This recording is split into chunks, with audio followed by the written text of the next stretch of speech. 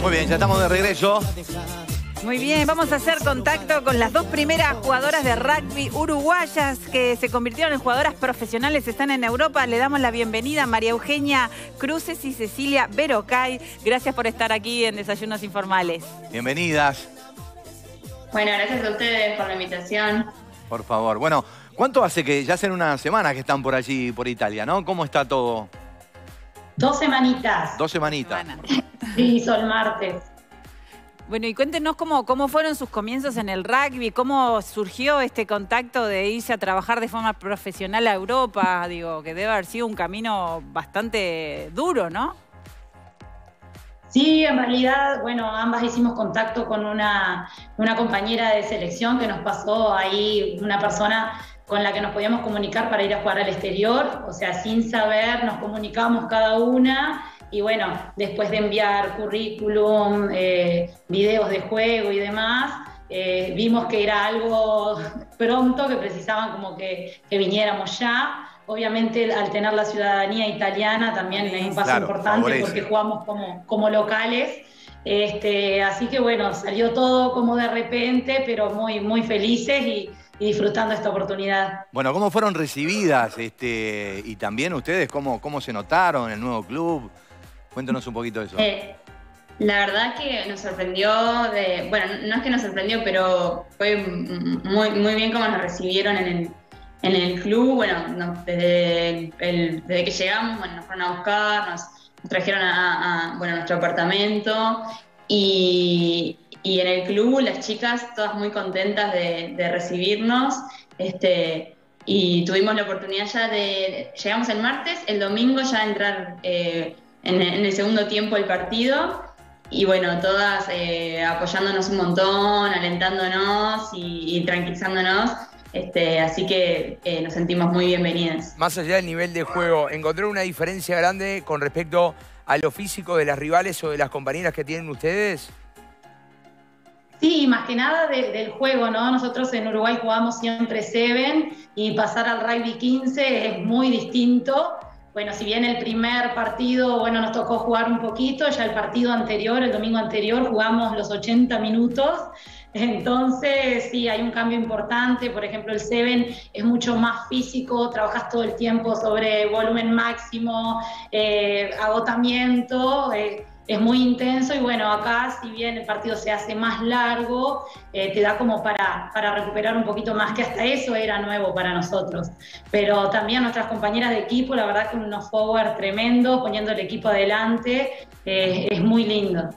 ¿Cómo llegó el rugby a ustedes o cómo si ustedes lo fueron a buscar? ¿Cómo, ¿Cuándo empezaron a practicar este deporte?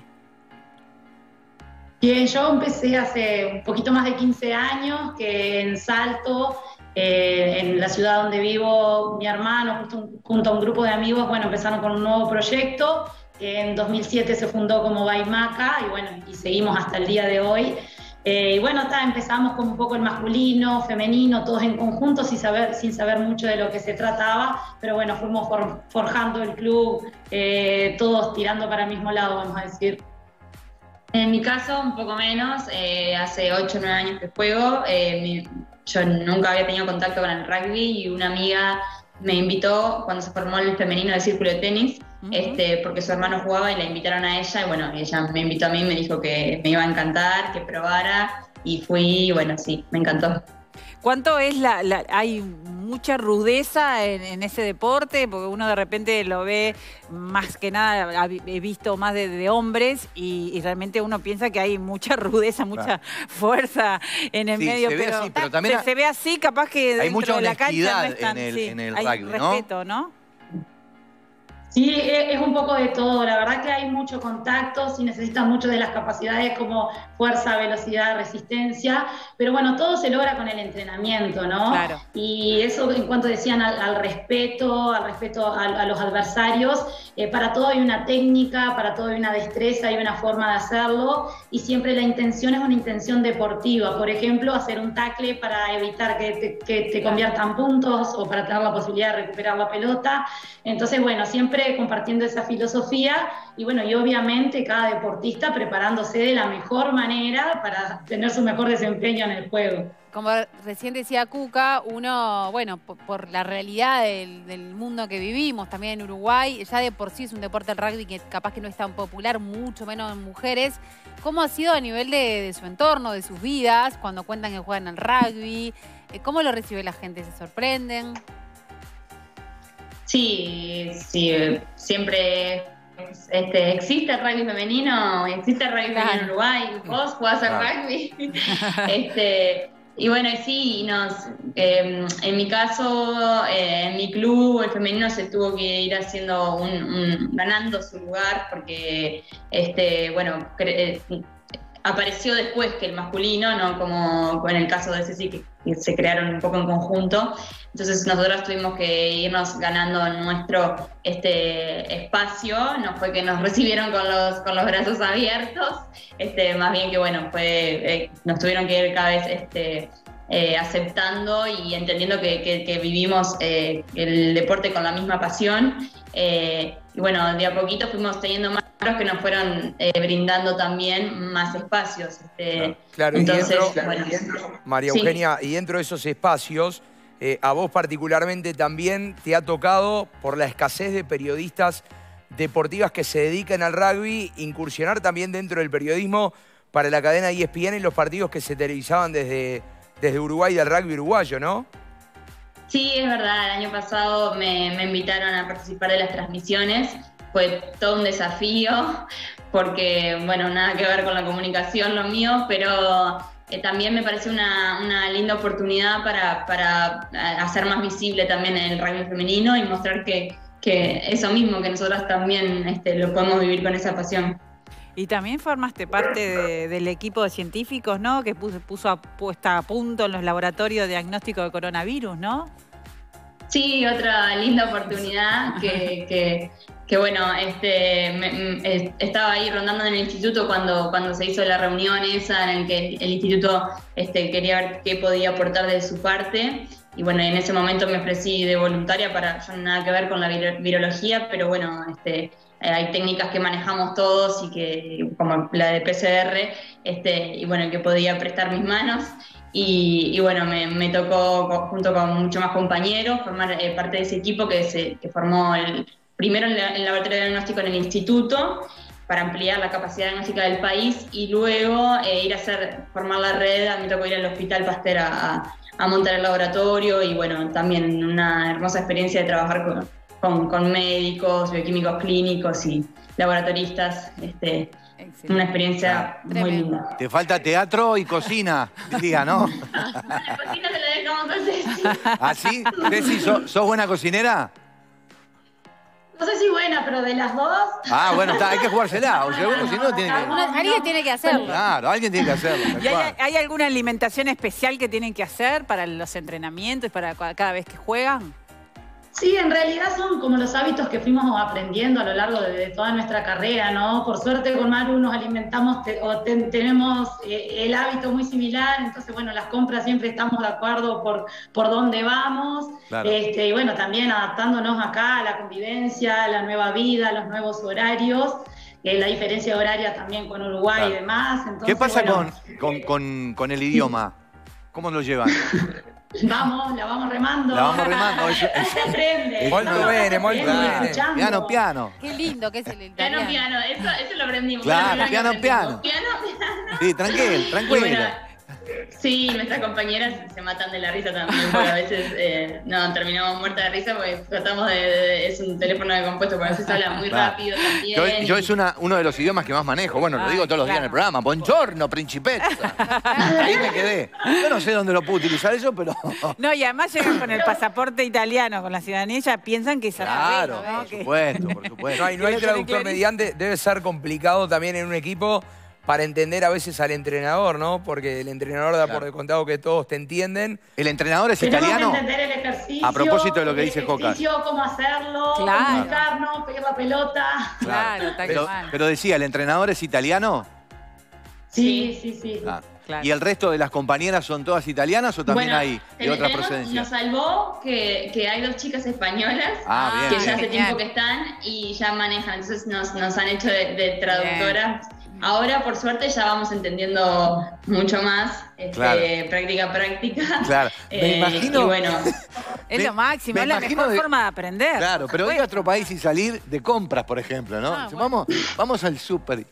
¿Cómo se pide esto? ¿Cómo Ah, se pide ahí aprendés. Ah, Internet claro. Es la mejor forma. Claro. Imagen traductor. eso. Es fundamental. ¿Y, No en, qué, faltar. en qué parte de Italia están? ¿En qué zona? ¿En qué Bien, estamos en, en un pueblo que se llama Gedi, que no queda en Calvisano mismo donde está el club, queda cerquita, unos 15 minutos. Ajá. Y bueno, dentro de la Lombardía. A una hora y media de Milán, Ay, qué eh, lindo como para Pero referencia. es, es un pueblo chiquito, hay mucha gente. Es, ¿Cómo es? No, es un pueblo, un pueblo chiquito, es más, el club, si bien tiene muchísima gente, eh, como que reúne de todos los alrededores, de todos estos pequeños pueblos, bueno, de ciudades como Brescia también. Entonces, eh, eh, como que- Ay, se cortó un poquito. Ahí se fue, se fue un poquito. está más lindo, como que contenemos mucho.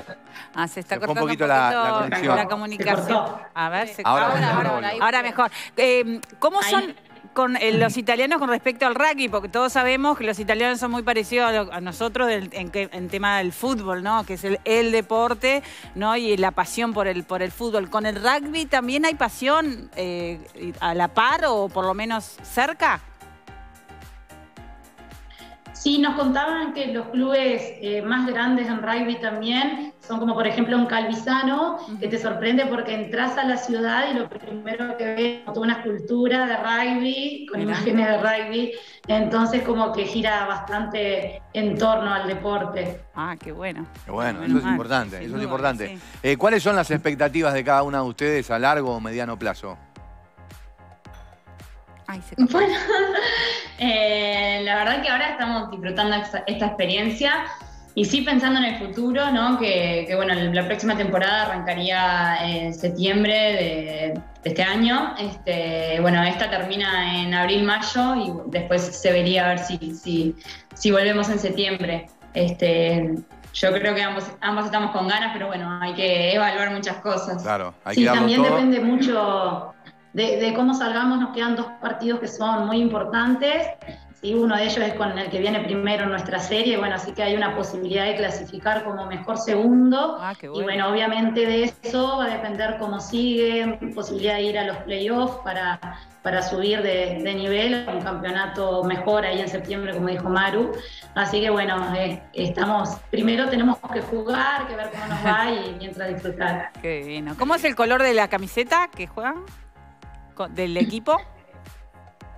Es amarillo y negro Mirá, y bueno, tiene pregunta. muchos sponsors. Qué bien, buena pregunta, Qué- qué Cuca. ¿eh? puntería, Cuca, Buena pregunta. Como que es una- Le, cal- le Bien, calzaría fija, bárbaro. es tal cual la Le calzaría pregunta. Ay, bárbaro. Dios, Colorado.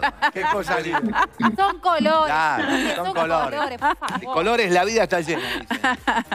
Qué bien. Qué bueno. Bueno, pero Bueno. bueno. pre- bueno, la verdad que estamos muy orgullosos de ustedes, la verdad que nos alegramos muchísimo, les deseamos lo mejor, además un deporte que, que el rugby lo, lo que tiene para mí a entender, ¿no? Que es como muy democrático también, porque puede jugar el que es el, el rápido, el más lento, el más eh, grandote, el más Más delgadito, o sea, como que permite que, que muchos puedan este, participar de, un deporte. todos, Hay lugar para todos y eso está buenísimo, además del tercer tiempo que, que también, ¿no? Después de un gran partido donde se dan con todo, tengan ese, Es ese fundamental. tipo de, es lo de que yo cordialidad decía. como Lo corresponde. que decía, la honestidad también, ¿no? Que tiene que ser un deporte que, Sí. marca, que marca mucho eso. Sin. Bueno, eh, les agradecemos, les mandamos un abrazo y, y bueno, manden saludos porque las, las están viendo sus familiares y sus amigos también, obviamente, ¿no?